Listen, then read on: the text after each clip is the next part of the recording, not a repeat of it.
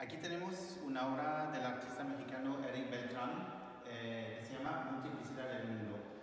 El artista está reflexionando sobre la idea del sistema, el arte como un sistema de representación y a través de una reflexión sobre lo que se llama um, data visualization, la visualización de datos,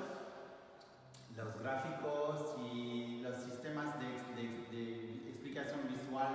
que encontramos en uh, telediarios, en, uh, en, periódicos, en libros, en todo ese tipo de sitios. Entonces, una reflexión sobre cómo se organiza